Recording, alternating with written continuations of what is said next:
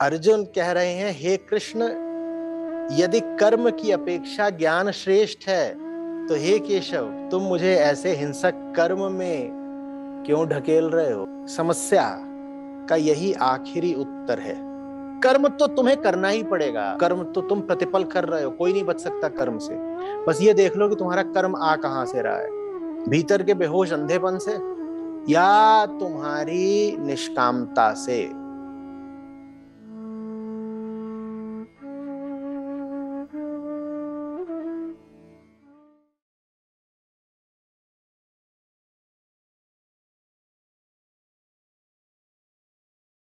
आप यहाँ पर आए हो, ये आपके अहम का निर्णय है। आपको मुक्त होना ही है। ये बात आपके निर्णय की नहीं है, ये बात तय है। आपको मुक्त होना ही है, ये बात तय है।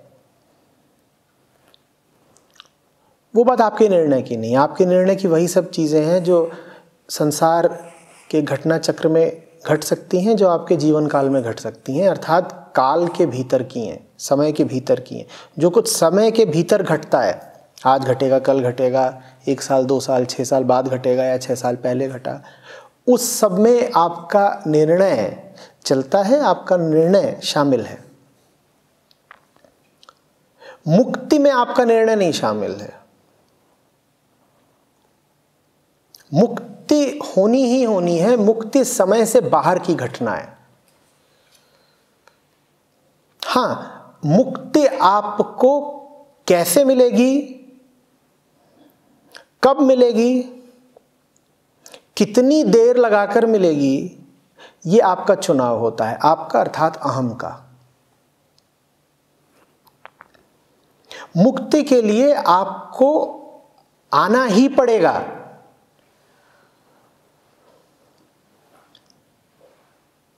ये पत्थर की लकीर है, आना ही पड़ेगा। लेकिन कब आओगे, ये आप जानो। आपने ये फैसला कर लिया कि आप अभी प्रयत्नरत हो गए, आप ये भी फैसला कर सकते थे कि आप अभी पाँच साल और टालते रहते। मुक्त होना है ये आपका सौभाग्य भी है, ये आपकी बाध्यता भी है, यही आपकी नियति है, यही आपका स्वभाव है, यही आपका स्वरूप है। भीतर आपके कुछ बैठा हुआ है जो मुक्त है ही, इसीलिए उसे अमुक्त रखा नहीं जा सकता। और बाहर बाहर अमुक्ति ही अमुक्ति है। भीतर कोई बैठा है जो मुक्ति के अलावा कुछ जानता नहीं। और बाहर बाहर अमुक्ति ही अमुक्ति है। बाहर बाहर क्या चलेगा? वो आप जानो, आपका हिसाब जाने, वो आपका चुनाव, आपके निर्णय।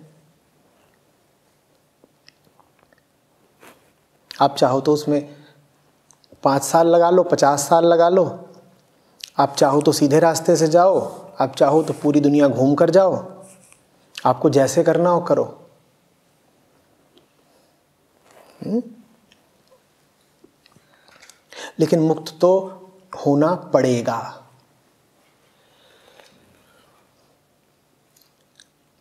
क्योंकि अंदर और बाहर में ये जो विभाजन है, ये झूठा है, ये जो संघर्ष है उसका परिणाम तय है। केंद्र जीतेगा, परिधि हारेगी।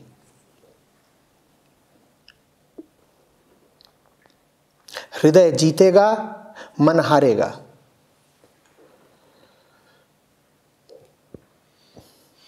सत्य में वो जयते। आत्मा ही जीतेगी, माया को हारना पड़ेगा।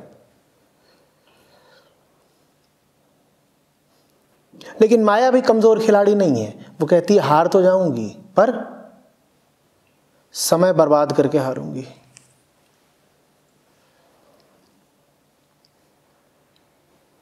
ये तो मुझे पता है कि जीतेगी मुक्ति ही, लेकिन इतना तो मैं कर सकती हूँ ना कि तेरे अस्सी साल खराब कर दू। अस्सी साल का जब तू हो जाए, तब तुझे ये समझ में आए और तब तू मुक्ति का चुनाव करे। चुनाव तो तुझे अंततः करना पड़ेगा, मुक्ति का ही। पर माया कहती है कि मैं जाते जाते भी नुकसान तो करके ही जाऊँगी। अस्सी साल खराब करके जाऊँगी। एक नहीं, अनेक देशों की यात्राएँ करवा के जाऊँगी। घूम लो पूरी दुनिया। अपने हृदय तक तो पहुँचे नहीं। बुल्ले शाह बाबा बोल गए, मक्के गए होते मुक्ति नहीं। हम्म और गंगा गए होते मुक्ति नहीं। जब मक्के गए हो भी मुक्ति नहीं है तो पेरिस गए मुक्ति कहाँ से मिल जाएगी? और कहाँ जा रहे होगे? दो ही चार जगह हैं जहाँ। या तो पेरिस जा रहे होगे, या सस्ता जुगाड़ होगा तो थाईलैंड। इन्हीं दोनों के बीच में सारा पर्यटन हो जाता है।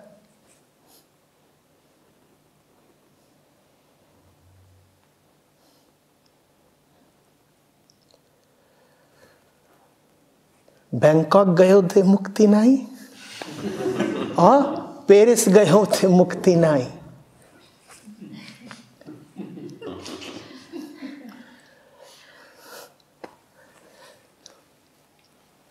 मुक्ति वैसे गंगा जाके भी नहीं है तो उन्होंने ये भी नहीं कहा कि ऋषिकेश जाके मुक्ति हो जाएगी। वो कैसे होगी आप देखिए।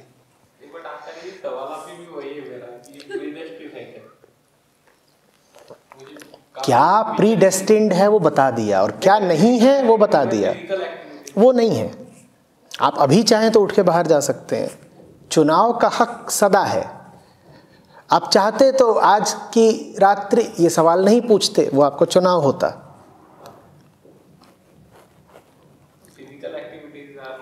बिल्कुल। क्या एक झटके में पूरे तरीके से आश्वस्त हो गए थे आपकी आपको आना ही है? नहीं हुए थे ना? चुनाव करा ना। हाँ। तो जहाँ चुनाव है वहाँ फिर क्या तयशुदा है? जब चुनाव बाकी ही है तो अभी तय क्या हुआ? अहम की दुनिया में चुनाव ही चुनाव है, उसे हमेशा चौराहे दिखाई पड़ते हैं, इधर जाऊँ कि इधर जाऊँ। और वो निर्णय लेता ही रहता है, तभी तो उसका सर चकराता रहता है ना, अब क्या करना है? अगर सब कुछ पूर्व निर्धारित होता तो तुम्हारा सर इतना क्यों भारी होता? तुम्हारा सर इसलिए तो भारी है क्योंकि तुम्हें चुनाव करने पड़ते हैं। तो ये भी चुनाव है कि यहाँ बैठे हो, सवाल पूछ रहे हो। सब होता है। अहम की दुनिया में सब होता है। मुक्ति का लेकिन कोई कॉज इफ़ेक्ट नहीं होता। आखिरी चीज़ पर नहीं चलता कार्य कारण का सिद्धांत। उसके पहले जो कुछ है उस पर तो पूरा चलता है।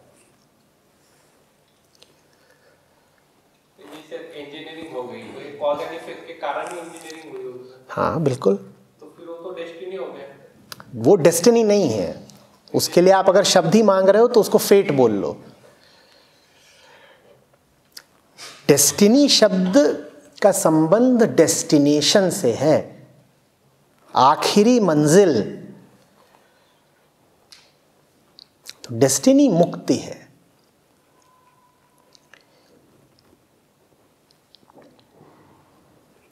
ये जो आप रोज़मर्रा के काम कर रहे हो, वो तो आपके हक के हैं, आपके अख्तियार के हैं, आपके चुनाव के हैं, उसको किस्मत क्यों बोल रहे हो?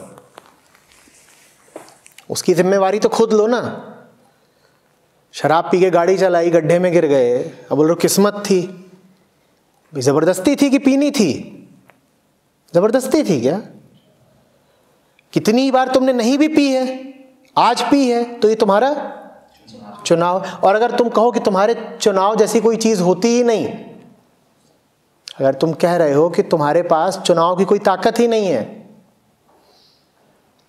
तो फिर मुक्ति की भी कोई बात व्यर्थ है। फिर तो अगर गुलामी है तो गुलामी ही रहेगी। मुक्ति का तो सवाल ही तभी पैदा होता है ना, जब मुक्ति का विकल्प मौजूद हो। अगर मुक्ति का कोई विकल्प ही नहीं है, अगर तुम्हारी ज़िंदगी में जो भी कुछ हो रहा है वो पूर्व निर्धारित है तो तुम्हारी ज़िंदगी में तो लगातार पूर्व निर्धारित गुलामी ही चल रही है। और अगर गुलामी अगर पूर्व निर्धारित है तो तुम मुक्ति की बात ही क्यों कर रहे हो? इसका मतलब तुम जो कुछ कर रहे हो, उसमें विकल्प सदा उपलब्ध है। और यही तुम्हारी उम्मीद है, यही सौभाग्य है तुम्हारा। इसी पर तुम्हारी सारी आशा टिकी है कि गलत करता रहा, गलत करता रहा, गलत करता रहा, भले गलत करता रहा, लेकिन सही करने का विकल्प मौजूद है, आज भी मौजूद है। सौ बार गलत कर लो, उसके बाद भी सही रास्ता चुनने का विकल्प मौजूद रहेगा।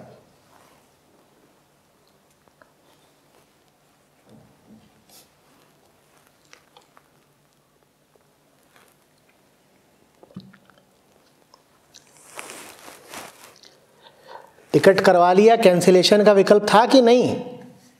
था ना? अरे रिफंड नहीं मिला, बस यही तो हुआ। कैंसिलेशन का विकल्प तो सदा होता है ना? दुनिया में बताओ ऐसा क्या है जहाँ पर कोई विकल्प ही नहीं? दुनिया में कभी कुछ ऐसा होता है जहाँ पर पूर्ण निर्विकल्पता हो। अगली सांस भी आए, इसमें भी तुम्हारे पास विकल्प है। ज़रूरी नहीं अगली सांस आए, तुम कह दो ये आखिरी सांस है। हो सकता है वो आखिरी हो तुम चाहो तो हो सकता है। क्योंकि काफ़ी बार ऐसा हुआ है जैसे गवर्नमेंट जॉब हाथ में थी और अचानक मन हुआ नहीं एमएनसी नहीं जाना है तो वो भी अचानक टर्न हो गया मेरे लाइफ में ऐसा तो मुझे अब ऐसा तो नहीं था कि सो रहे थे और सुबह उठे तो पाया कि एमएनसी में बैठे हो। निर्णय लिया ना? हाँ निर्णय क्यों बदल जाता है? तुम बदलते हो ज़िम्मेदारी उठाओ भाई। निर्णय क्यों बदल जाता है? कल को तुम इसी रॉ में बहते हुए कह दोगे ये बच्चा कहाँ से आ गया? बच्चा क्यों आ जाता है? अरे आ जाता है नहीं तुमने पैदा किया है। ज़िम्मेदारी उठाओ। वो थॉट आ जाता है और वो बड़ा हो जाता है। उस थॉट को समर्थन कौन देता है? तुम हर विचार को समर्थन नहीं देते ना? अगर तुम कहते हो कि मैंने कुछ नहीं किया विचार कहीं से आ गया तैरता हुआ और विचार ने मुझसे सब कुछ करवा दिया तो तुम झूठ बोल रहे हो। तुम्हें जितने विचार आते हैं, क्या तुम सबको कार्यान्वित कर देते हो? नहीं ना? तुम चुनते हो कि कौन सा विचार मैं पकड़ करके कार्यान्वित करूँगा, मैं कौन से विचार को समर्थन दूँगा। ये तुमने बिल्कुल ठीक कहा कि विचारों के आने पर तुम्हारा नियंत्रण नहीं है। विचार उड़ते उड़ाते कहीं से भी आ सकते हैं, कोई भी विचार आ सकता है। लेकिन क्या तुम सभी विचारों को ऊर्जा देते हो? क्या तुम सभी विचारों का समर्थन करते हो? क्या तुम सभी विचारों को कार्यान्वित कर देते हो? ऐसा तो नहीं करते ना? वहाँ पर तुम्हारा चुनाव होता है। ज़िम्मेदारी लो। मैंने चुना। ये मत कहोगे हो गया। गौर से अगर देखोगे तो पाओगे।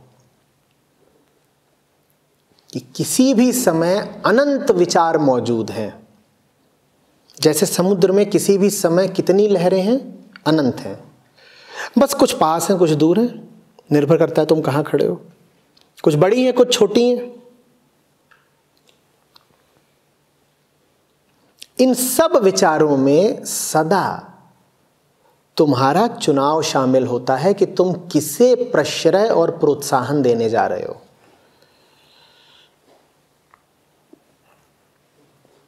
यही निर्णय सही करना होता है, यही भेद करना होता है। इसी को विवेक कहते हैं, इसी पर तुम्हारा पूरा जीवन आश्रित होता है कि निर्णय तो कर ही रहे हो प्रतिपल, सही निर्णय करो। वो निर्णय करो जो तुम्हें तुम्हारी डेस्टिनी की ओर ले जाएगा, क्योंकि हमने कहा डेस्टिनी क्या? जो अनिवार्य है। जो अनिवार्य है। जो अनिवार्य है ही, उससे लड़ना क्या? या तो पता होता कि वहाँ भी कोई चुनाव उपलब्ध है, वहाँ कोई चुनाव उपलब्ध नहीं है। मुक्ति आवश्यक है, मुक्ति अपरिहार्य है। मुक्ति होनी ही होनी है। नहीं होगी तो चैन नहीं पाओगे। तो जो होना ही होना है, उससे विवाद क्यों किया जाए, उससे संघर्ष क्यों किया जाए? भलाई इसी में है ना कि उसी दिशा में चल दिया जाए। तो अगर चार बातें आती हैं मन में तीन मुक्ति के खिलाफ एक मुक्ति के पक्ष की तो किसका समर्थन करना है? क्या चुनाव करोगे? उस बात का समर्थन करो जो मुक्ति की दिशा में जाती है। हुँ? यही विवेक है। वो तो छोड़ दो। तो देख लो। मन में बहुत कुछ है। अभी भी वो बता रहे हो जो बताने का चुनाव कर रहे हो। बात न नौकरी करते रहने की है, ना नौकरी छोड़ देने की है। बात मुक्ति को जीवन के केंद्र में रखने की है। तुम्हारे सारे निर्णयों में प्रधान बात यही हो। प्रधान लक्ष्य यही हो कि मेरा ये निर्णय मुझे मुक्ति की तरफ़ ले जा रहा है या नहीं ले जा रहा है। मुक्ति के लिए बिल्कुल आवश्यक हो सकता है कि तुम नौकरी छोड़ दो। और मुक्ति के लिए यह भी आवश्यक हो सकता है कभी कभी कि तुम नौकरी न छोड़ो। वहाँ कोई बंधा बंधाया सिद्धांत नहीं चलता। अगर नौकरी छोड़ने भर से मुक्ति मिल सकती होती तो उपनिषद बस एक सूत्र कहकर छोड़ देते। क्या सूत्र? नौकरी छोड़ो। नौकरी छोड़ी नहीं कि मुक्ति मिली। फिर तो दुनिया के किसी ग्रंथ में कोई और बात कही ही ना गई होती। इतनी सस्ती नहीं है मुक्ति की नौकरी का त्यागपत्र डालने से मिल जाएगी। नौकरी का त्यागपत्र सहायक हो सकता है। अगर सही समय पर डाला गया हो और सही कारण से डाला गया हो। हम्म? अन्यथा नहीं। अन्यथा तो यह भी हो सकता है कि तैश में आकर नौकरी छोड़ाए उसके बाद एक नौकरी से ज़्यादा बड़ा बंधन किसी और नौकरी में चुन लिया। या कि पाया कि बेरोजगारी नौकरी से ज़्यादा बड़ा बंधन है। तो मुक्ति की बात करते करते और बड़े बंधनों में फंस गए। ऐसे नहीं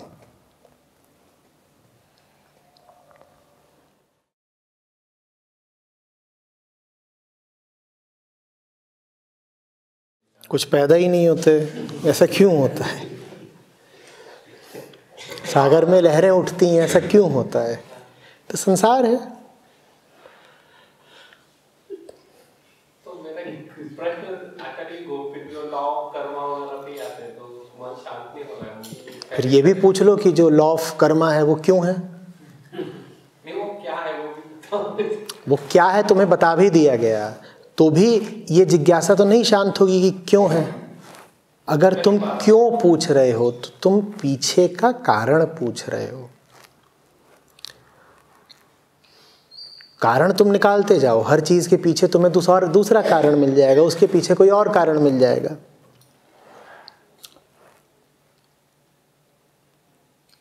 अनंत श्रृंखला है। और एक नहीं, अनंत श्रृंखलाएँ हैं और वो आपस में गुथी हुई हैं। इतनी श्रृंखलाएँ जब आपस में गुथ गई हैं तो कार्य कारण का पूरा जाल बिछा हुआ है। कारण पे कारण निकलते जाएँगे। नेटवर्क है। कहीं पर अंत नहीं होगा। इस प्रश्न का अंत तब होता है जब मन शांत हो जाता है। मन जब तक है, तब तक वो आगा पीछा खोजता ही रहेगा। इस जिज्ञासा को मन कहते हैं। इस जिज्ञासा का कोई अंत नहीं है। जब तक तुम जिज्ञासा के केंद्र में ही ना घुस जाओ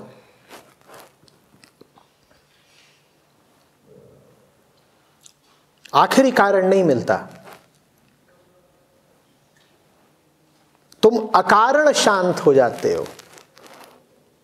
तो फिर कह दिया जाता है कि आखिरी कारण अकारण है, सत्य अकारण है।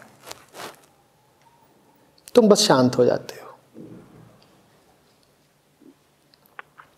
ये तुम्हें अपनी वर्तमान मनोदशा में सुनने में अजीब लगेगा, पर संतों के पास ऐसा नहीं कि सब सवालों के जवाब हैं। बात दूसरी है, उनके पास अधिकांशतः वो सवाल ही नहीं है जो तुम्हारे पास है। वो इसलिए शांत है। तुम्हें तमाम सवाल उठते रहते हैं। पड़ोस के घर से कुकर की सीटी बजी। बन क्या रहा है आज? और जो बन रहा है, उसका कारण क्या है? पूर्व जन्म का फल? संतों को ये सब प्रश्न ही नहीं उठते। ऐसा नहीं कि उन्हें उत्तर मिल गए हैं। उनके पास जाके तुम पूछोगे कि कढ़ी में जो पकौड़ा था, वो टेढ़ी शक्ल का था। कारण बताइए। तो ये थोड़ा ही होगा कि महात्मा जी अपने दिव्य चक्षु खोलेंगे और तुम्हें पकौड़े के पूर्व जन्म की कथा सुना देंगे। वो बस मुस्कुराएँगे और आगे बढ़ जाएँगे क्योंकि उन्हें इन प्रश्नों से कोई लेना देना नहीं। उनके लिए ये प्रश्न बचकाने हैं। उन्हें इन प्रश्नों से क्या ताल्लुक? हुँ? और ऐसा नहीं कि पकौड़े की कोई कथा नहीं है, देखो। पकौड़ा यूँ ही पकौड़ा नहीं बन गया। उसके पीछे की कहानी ढूँढने निकलोगे तो पुस्तकालय कम पड़ जाएँगे, ऐसा इतिहास निकलेगा। विचार करो, पकौड़े के पीछे क्या क्या है। हुँ? संत वो जो कहे, पकौड़ा तो पकौड़ा। आगे बढ़ो भैया। सब जिज्ञासा आध्यात्मिक नहीं होती। अधिकांशतः जिज्ञासा सिर्फ़ मन का विक्षेप होता है। मन का पागलपन। सिर्फ़ आत्म जिज्ञासा आध्यात्मिक होती है।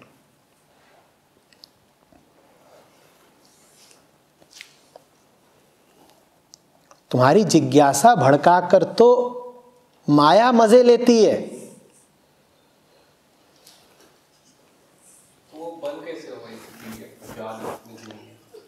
भीतर घुस जाओ उस जिज्ञासा के केंद्र पर जाओ। कौन है जो ये पूछ रहा है और उसे इससे मिल क्या जाएगा?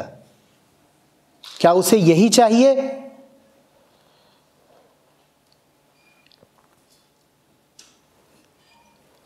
जैसे पिंजड़े का पक्षी पूछता हो कि आज सर्राफा बाज़ार गर्म है कि ठंडा? अरे तुझे इससे मिल क्या जाएगा, पागल? हम्म? जैसे कैद खाने का कोई सजा याफ्ता कैदी पूछे, आज मैच का स्कोर क्या है? तुझे इससे मिल क्या जाएगा, पागल? तेरी ये जिज्ञासा होनी चाहिए, तेरी जिज्ञासा क्या होनी चाहिए? मुक्ति कैसे मिलेगी? पर सही जिज्ञासा न करनी पड़े, इसलिए तू भांति भांति की व्यर्थ जिज्ञासा करता रहता है। माया का दूसरा नाम समझो जिज्ञासा। आत्म जिज्ञासा को छोड़कर बाकी सब जिज्ञासाएँ मायावी हैं। देखते नहीं हो ये लोग तुम्हें पकड़ने के लिए कैसी कैसी तुम में जिज्ञासा उठवाते हैं?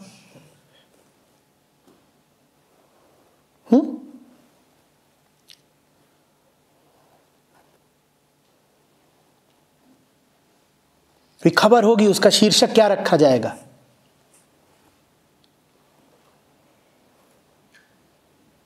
माला चोपड़ा, कुटुकु द्वीप पर क्या कर रही थी? अब तुम्हें माला चोपड़ा से कोई लेना देना ना हो। कुटुकु द्वीप कहाँ है, इसका तुम्हें कुछ पता ना हो। पर तुम्हें खुजली कर दी गई है। क्या कर रही थी? माला चोपड़ा कुट्टुकू द्वीप पर क्या कर रही थी? अब तुम पढ़ जाओगे पूरा। और जो पढ़ जाओगे, उसमें बीच में बैठे होंगे चार अदद विज्ञापन। बेचने वाले का काम हो गया, बुद्धू बने तुम, क्योंकि तुम पकौड़ा शास्त्री हो। तुम कैसे छोड़ दोगे माला चोपड़ा के कुट्टुकू द्वीप को? तुम्हें तो जानना है, ये हुआ कैसे?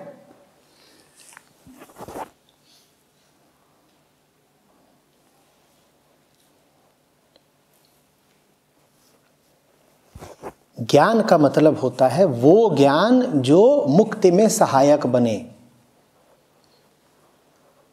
और किससे मुक्ति चाहिए? गौर से सुन लो। व्यर्थ के ज्ञान से। ज्ञान का मतलब होता है वो ज्ञान जो मुक्ति में सहायक बने। और मुक्ति चाहिए ही किससे? व्यर्थ के ज्ञान से। तो ज्ञान का मतलब वो ज्ञान जो व्यर्थ के ज्ञान को काट दे। व्यर्थ का ज्ञान इकट्ठा करना अध्यात्म नहीं होता। कि चलो, ऋषिकेश शिविर के प्रतिभागियों, कल की आध्यात्मिक गतिविधि यह है कि तुम गिनोगे कि गंगा में लहरें कितनी है? तुम गिनोगे कि तट पर रेत के कण कितने हैं? और तुम गिनोगे कि पेड़ पर पत्ते कितने हैं? और जो लोग बच गए हैं वो अपने अपने सर के बाल गिनेंगे।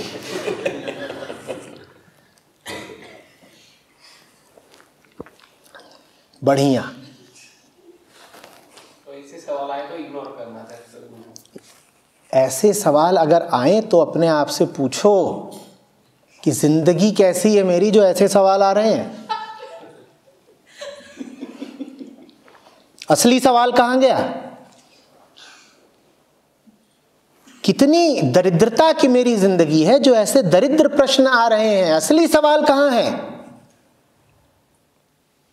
आंतरिक फरेब है ना? असली सवाल का उत्तर न देना पड़े, इसीलिए झूठ मूठ के नकली सवाल पैदा करे जा रहे हो।